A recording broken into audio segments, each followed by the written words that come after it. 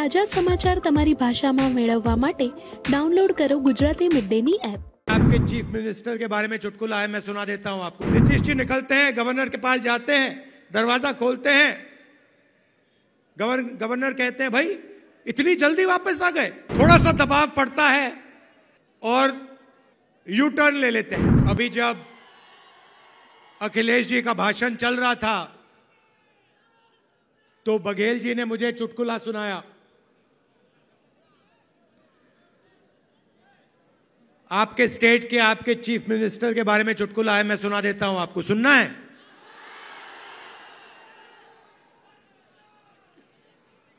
तो आपके chief minister आपके चीफ मिनिस्टर गवर्नर के यहाँ स्वेरिंग इन स्वेरिंग इन के लिए गए, बड़ा धूमधाम था। वहाँ पे बीजेपी के नेता बैठे थे। गवर्नर साहब बैठे थे, सब एमएलए बैठे थे। स्वेरिंग इन होती है। शपथ लेते हैं चीफ मिनिस्टर का।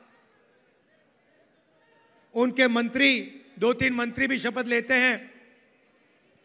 खूब तालियाँ बजती हैं। और फिर नीतीश जी निकल जाते हैं, वापस सीएम हाउस की ओर चल जाते हैं। गाड़ी में पता लगता है कि वो अपना शॉल गवर्नर के घर में छोड़ आए।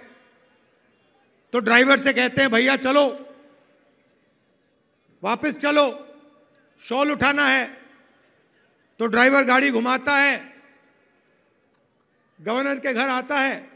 नीतीश जी निकलते हैं, गवर्नर के पास जाते हैं, दरवाज़ा खोलते हैं। गवर्नर गवर्नर कहते हैं, भाई इतनी जल्दी वापस आ गए। तो ये हालत है बिहार की। थोड़ा सा दबाव पड़ता है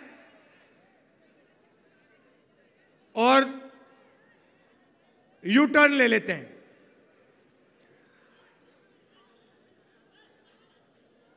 दबाव क्यों पड़ा? क्योंकि बिहार में हमारे गठबंधन ने एक बात जनता के सामने रखी है। इस यात्रा में हम पाँच न्याय की बात कर रहे हैं। उनमें से एक न्याय, उसको आप सामाजिक न्याय कह दीजिए, उसको आप हिस्सेदारी कह दीजिए, उसको आप भागीदारी कह दीजिए। उसके बारे में हम काम कर रहे हैं સબસ્ક્રાઇબ કરો Gujarati mid day bell icon પર ક્લિક કરીને મેળવો તમામ વિડીયોના ડાયરેક્ટ નોટિફિકેશન